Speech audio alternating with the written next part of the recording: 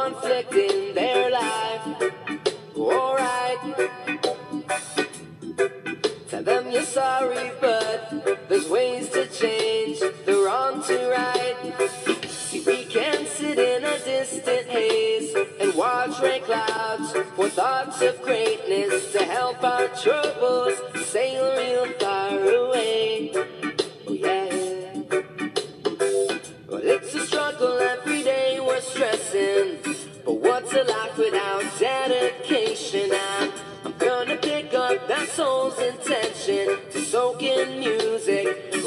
relaxation.